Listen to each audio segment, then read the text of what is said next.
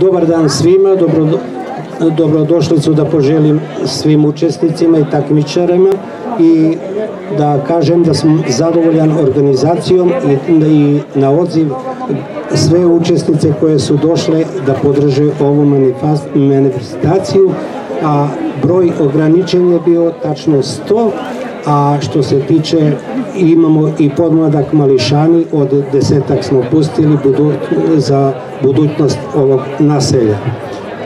Da pozdravim još jednom sve vas i dobro se sprovedite i hvala.